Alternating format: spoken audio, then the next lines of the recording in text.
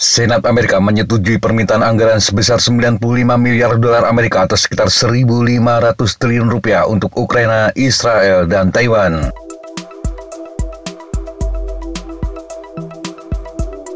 Kesepakatan itu memang belum menjadi putusan final, tetapi kini terjawab banyak pertanyaan sebenarnya bantuan ke Ukraina selama ini apakah akan dihitung sebagai utang atau tidak.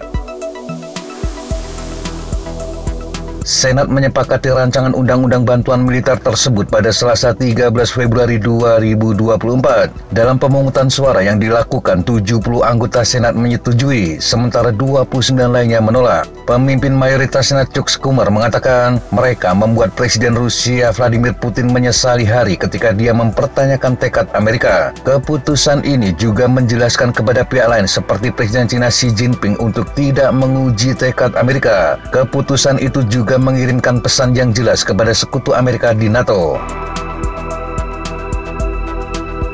Tetapi sekali lagi ini belum menjadi keputusan akhir. RUU itu selanjutnya akan diserahkan ke Kongres untuk mendapat persetujuan. Dan seperti diketahui sebagian besar anggota dari Partai Republik yang menguasai mayoritas Senat menolak permintaan tersebut. Ketua Kongres Mike Johnson menegaskan kembali penentangannya dan ini juga didorong oleh penentangan dari mantan Presiden Donald Trump, kandidat utama dalam pemilihan pendahuluan presiden dari Partai Republik. Trump melalui media sosial juga menuntut agar RUU bantuan luar negeri dilakukan sebagai pinjaman, bukan sekedar pemberian. Inilah yang menarik untuk disimak. Pernyataan Trump itu seharusnya menjawab sejumlah pertanyaan banyak netizen di Indonesia. Banyak yang meyakini bantuan Amerika ke Ukraina selama ini merupakan hutang yang harus dikembalikan. Tetapi ternyata tidak. Itu adalah murni hibah dan baru diusulkan sebagai utang jika bantuan terakhir ini disetujui. Hal senada disampaikan Senator Lindsey Graham. Dia meminta Kongres untuk menerapkan gagasan Trump guna mengubah paket bantuan tambahan menjadi pinjaman, bukan hibah. Meskipun tidak jelas bagaimana hal itu akan berhasil, karena sebagian besar bantuan militer dalam rancangan undang-undang itu dialokasikan untuk kontrak Pentagon.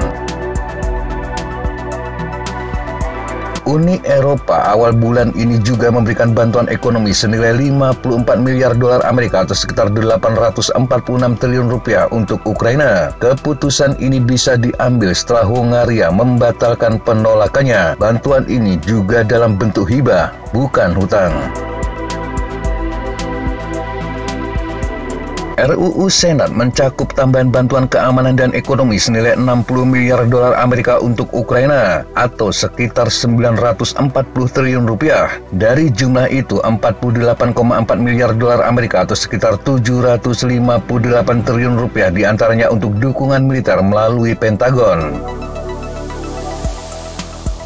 Dukungan militer mencakup 19,9 miliar dolar Amerika untuk Pentagon mengganti senjata yang dikirim ke Ukraina. Selain itu 13,7 miliar dolar untuk inisiatif bantuan keamanan Ukraina. Skema yang memungkinkan Pentagon menandatangani kontrak jangka panjang untuk mengirim senjata ke Kiev. Ada juga pendanaan militer luar negeri senilai 1,6 miliar dolar Amerika untuk Ukraina dan negara-negara Eropa yang terkena dampak invasi Rusia. Mereka bisa menggunakan uang itu untuk membeli senjata. Syaratnya senjata itu harus dibeli dari kontraktor pertahanan Amerika.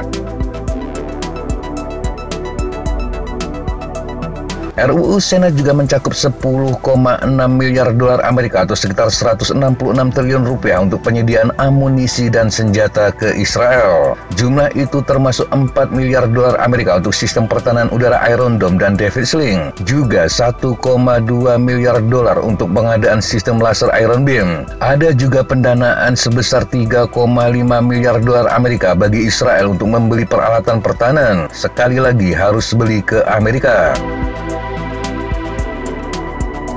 Sebelumnya, Kongres pekan lalu gagal meloloskan rancangan undang-undang bantuan Israel. Ini karena penentangan dari Biden dan Partai Demokrat yang tidak senang dengan kurangnya bantuan Ukraina dalam paket tersebut. Sedangkan untuk bantuan ke Taiwan, RUU itu menyediakan 2 miliar dolar Amerika atau sekitar 31 triliun rupiah. Dana juga untuk mitra keamanan Indo-Pasifik lainnya. RUU itu juga memberikan dana sebesar 1,9 miliar dolar Amerika kepada Pentagon untuk mengisi kembali senjata yang dikirim ke Taiwan dari persediaan mereka.